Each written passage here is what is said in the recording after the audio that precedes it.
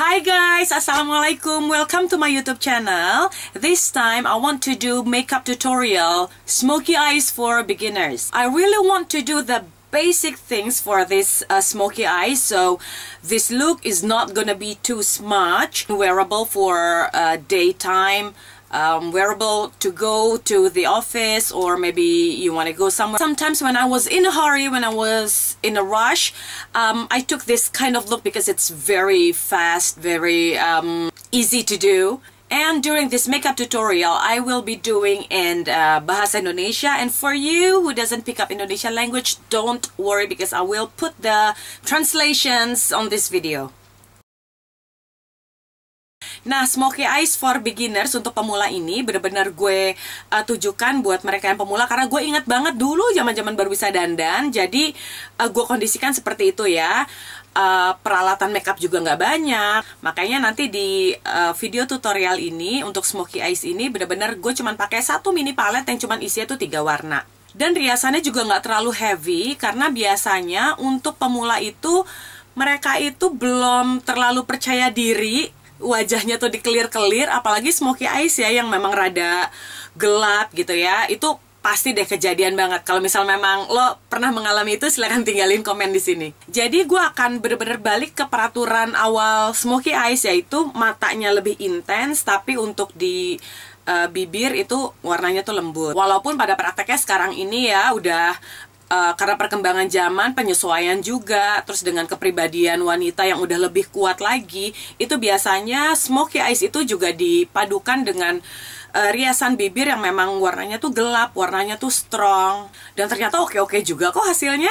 Filosofi smoky eyes, ya balik lagi ke kata dasarnya adalah smoke, asap. Kalau lo lihat asap, uh, asap deh, knalpot kayak atau asap uh, di panggung safari atau di apalah gitu ya. Yang namanya asap itu kan dia bermula dari warna yang emang pekat tapi lama-lama jadi bergradasi gitu ya. Jadi e, warna itu jadi hilang. Nah seperti itulah. Smoky eyes itu cenderung e, mengarah ke warna-warna gelap awalnya. Tapi semakin ke sini bisa dipadukan dengan warna-warna lainnya. Ada yang ungu ada yang hijau ada um, uh, dipadu-padukan ya kuning dipadukan dengan coklat tua gitu. Yang penting memang ada efek smoke-nya aja. Oke, okay, gue sudah mempersiapkan wajah gue untuk uh, smoky eyes for beginners ini ya. Jadi gue sudah pakai uh, moisturizer, uh, Made Touch dari Optimals ini khusus untuk kulit berminyak. Gue juga pakai face primer. Fungsinya face primer ini adalah membuat riasan wajah kita itu bertahan lebih lama. Karena dia itu uh, mampu menahan minyak muka itu muncul lebih cepat dan dia itu menjadi pengikat bonding nih antara moisturizer uh, moisturizer kita sama foundation yang kita pakai. Sesudah pakai ini, gue sudah pakai foundation Made Control dari Oriflame. Ini khusus untuk kulit berminyak juga. Dan sekarang yuk kita mulai smoky eyes-nya. Gue memakai ini ya, Brow Definer dari Oriflame. Yang gue lakukan adalah menggaris di bagian bawah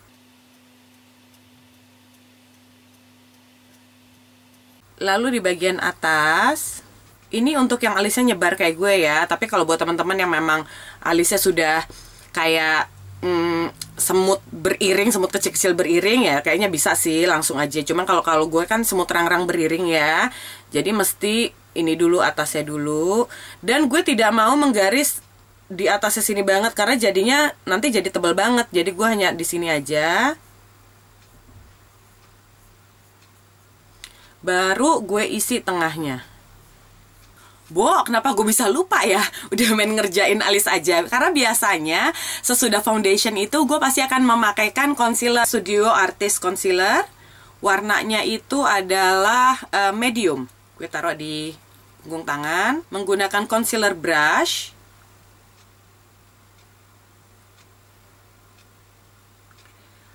Dan ini jangan kita uh urak-urak begini ya tapi ditepuk-tepuk aja.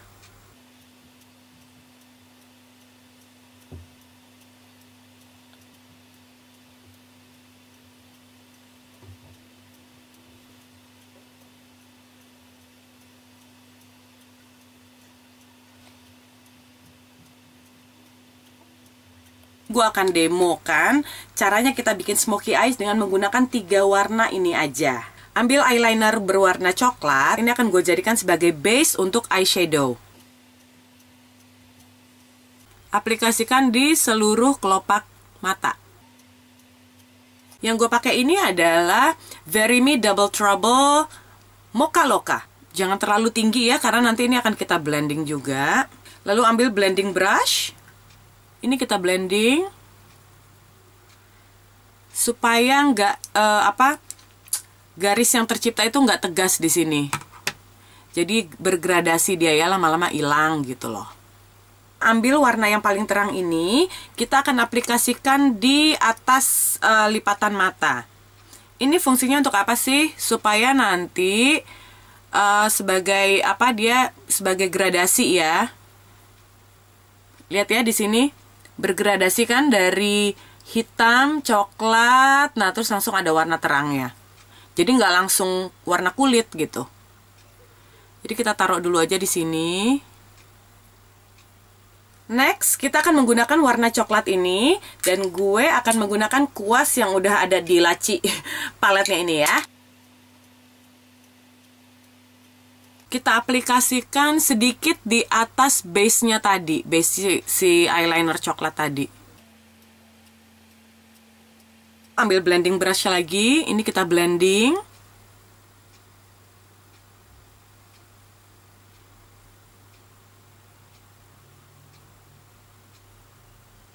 Lalu ambil kuas yang ujungnya datar ya. Ambil lagi yang warna coklat. Dan dibaurkan di uh, di bawah mata ya. Dengan menggunakan kuas yang sama juga kita ambil yang warna hitam ini satu side aja ya karena kalau nanti dua-duanya kita uh, apa olesin si eyeshadownya ini juga pada saat kita ngaplikasin ke sini yang dari bagian sini nanti bisa jatuh-jatuh ke bawah sini nih oke okay. terus ini akan kita aplikasikan di uh, sini di lipatannya dan langsung nutup ke sini juga nih ke sepertiga uh, mata Setinggi apa kita e, naruh warna gelapnya? Batasnya adalah sampai di tulang mata kita ini ya.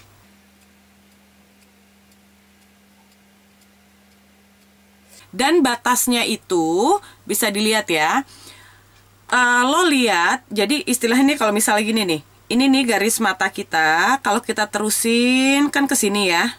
Nah, warna eyeshadownya ini jangan lebih uh, apa jangan sampai melebihi ke sini Ya, jadi ini kita batasnya tuh sampai sini at least. Kenapa? Karena kalau nanti lo eyeshadownya sampai ke bawah sini, itu bisa membuat mata lo tuh seolah-olah jadi kayak senduh, sedih gitu ya. Jadi pokoknya intinya tiap kita pakai eyeshadow itu adalah kita tujuannya untuk mengangkat uh, apa mata kita. Habis itu kita blending. Dan supaya riasan tahan lama pakai um, filosofi sandwich. Jadi lo aplikasikan blending, tambah lagi lagi lapis-lapis gitu loh, ya. Ini kan udah gue aplikasi ini, terus gue blending, terus gue tambah lagi.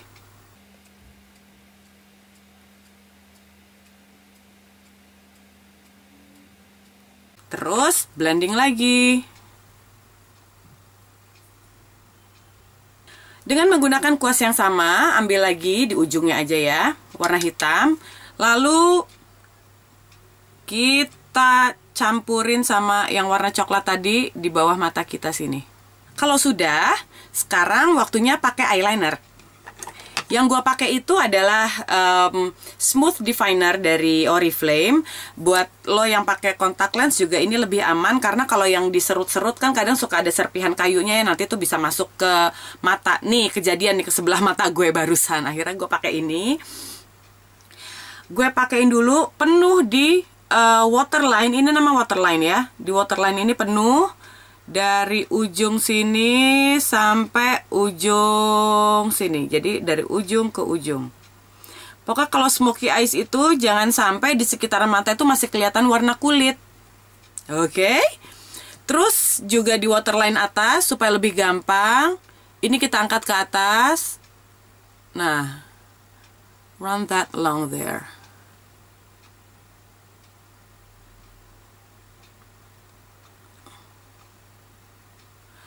Terus kita juga akan pakaiin di uh, garis bulu mata sini. Nggak perlu rapi-rapi, karena nanti akan kita uh, blend dengan eyeshadow warna hitam. Lalu ambil kuas yang uh, rata ya, ini seperti ini. Kita ambil yang warna hitam. Dan kita push nibanin si eyeliner hitam tadi.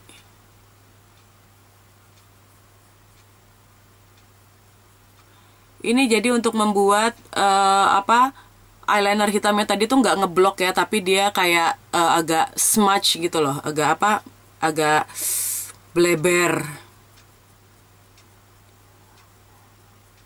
Dan menggunakan pencil brush, ini kita smudge, kita baurkan yang di bawah ini supaya kesannya tuh juga lebih smoke. Karena ini untuk pemula, kita belum pakai-pakai bulu mata palsu dulu ya. Jadi apa adanya dulu supaya lebih maksimal hasilnya. Bulu mata itu harus kita jepit dulu. Kenapa? Karena akan membuat uh, uh, mata kita tuh juga menjadi lebih tegas dan lebih terbuka jadinya. Dan andalan gue untuk smoky look adalah uh, 2FX mascara. Nah ini gue pakai kuas pertama. Ini fungsinya untuk menebalkan ya, membuat tampak lebih tebal. Jadi pakai maskaranya itu benar-benar dari akar bulu mata ya. Kuas yang kedua, ini fungsinya untuk bikin panjang bulu mata kita. There you go. Siapa bilang smoky eyes itu harus menggunakan bulu mata palsu KW1? Pakai 2X mascara juga bisa kok. Selanjutnya, bedak yang gue pakai ini adalah tetap ya untuk kulit berminyak Made Control Press Powder dari Oriflame Beauty. Nah, gue paling seneng itu pakai uh, kuas karena gue bener-bener bisa uh, push dia, dorong masuk ke kulit wajah. Jadi bener-bener menutup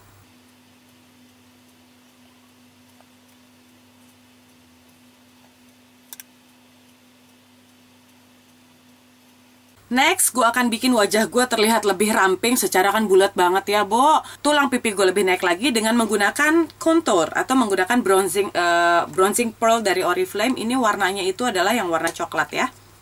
Caranya adalah biasanya sih pada kempot-kempotin pipi. Hmm? Nah, di sinilah kan kita uh, warnain.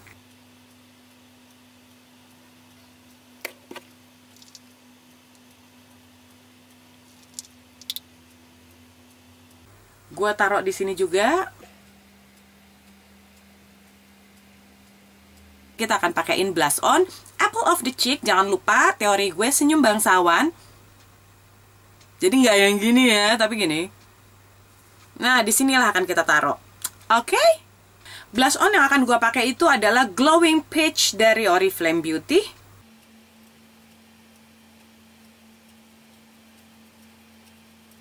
Biasanya nih ya kalau pemula itu belum terlalu pede kalau mukanya tuh berkelir banget. Jadi kita balik ke teori awalnya smoky eyes kalau e, mata kita udah intens, artinya di bibir itu kita pakai warnanya tuh kalem. Nah, warna kalem-kalem cantik yang cocok sama uh, riasan ini buat gue ya, buat gue itu adalah Studio Artist Pure Berry. Warnanya pink muda banget. For those beginners who doesn't feel confident with the strong lip color, so we're going to use a very soft color Oriflame Studio Artist in Pure Berry. Oke, okay, kelar sudah makeup tutorial Smoky Eyes for Beginners. Kalau misalnya memang video ini berguna banget buat lo, silahkan di like, silahkan uh, subscribe ke YouTube channel gue ini. Jadi kalau gue posting video baru, lo akan dapat pemberitahuannya melalui email. Dan kalau misalnya memang ada yang mau lo tanyain seputaran makeup makeup bisa tinggalin komen di video ini nanti gue akan coba jawab semampu gue. So I hope you guys enjoy this video and thank you very much. Thanks for watching. Bye.